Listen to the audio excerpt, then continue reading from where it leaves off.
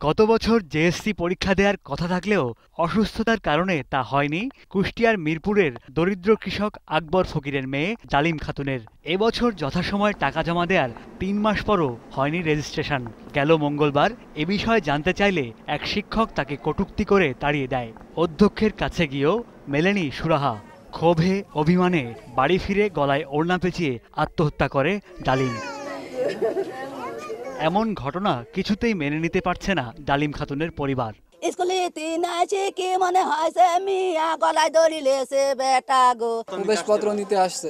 তো স্যার তখন অফিস থেকে অপমানজনক কথা বলছে। বলছে তুমি স্কুলে মডেলিং করতে আসো রূপ দেখাতে আসো? একজন নিরীহ মেয়ে মারা গেছে আমাদের এলাকায় আমাদের বাড়ির সঙ্গে। এর আমরা দৃষ্টান্তমূলক শাস্তি চাই। তবে অভিযুক্ত শিক্ষক ও স্কুল কর্তৃপক্ষের দাবি ডালিম সেদিন প্রবেশপত্র নিতেই যায়নি। গত বছর ছিল। এই বছর ছাত্রী ছিল কিন্তু এই বছর আসে নাই। মানে সে রেগুলার হিসাবে এই বছর মাসের জন্য যোগাযোগ করে নাই। যোগাযোগ করলে অবশ্যই তার জন্য আমরা ব্যবস্থা করতাম। কি কি জানিয়েছে সেটা আমার জানা নাই। কারণ কালকে তো প্রবেশপত্র প্রবেশপত্র এখনও আসেইনি। না না বসা সিট নাম্বার যা রেগুলার ছাত্রী তাদের। বিষয়টি খতিয়ে দেখে ব্যবস্থা নিতে বৃহস্পতিবার জেলা প্রশাসনের কাছে লিখিত আবেদন করেছে নিহত শিক্ষার্থীর পরিবার। অবশ্যই দেখব অবশ্যই। অভিযোগ আছে আমরা দেখব। কেন ইয়ে করল? শিক্ষকের দ্বারা কীভাবে ছাত্রী ইয়ে হয় এটা তো খুবই গরিত কাজ। এ বিষয়ে আইনানুগ ব্যবস্থা গ্রহণ করা হবে। ঘটনার প্রতিবাদে স্কুল ঘেরাও করে আত্মহত্যায় প্ররোচনাকারীর বিচার চেয়েছেন এলাকাবাসী।